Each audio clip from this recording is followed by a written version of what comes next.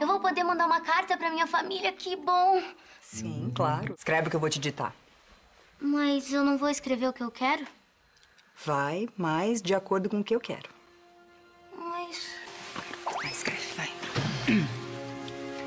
Você vai colocar que você tá muito feliz com seu pai agora. Mas eu nem conheço o meu pai. Eu sei, bobinha, mas a sua família não só vai saber que você o conhece, como que você também tá muito feliz com ele.